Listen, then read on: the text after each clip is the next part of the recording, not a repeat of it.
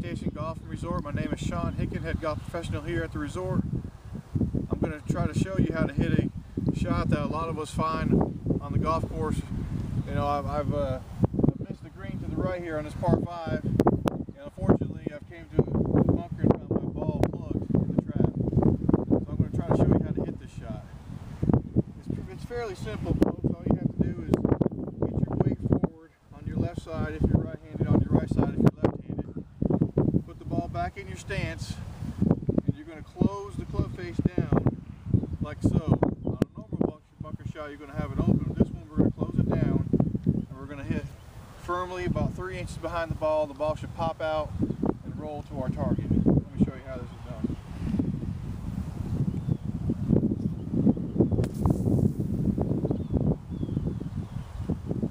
You do that, it should get out a lot easier.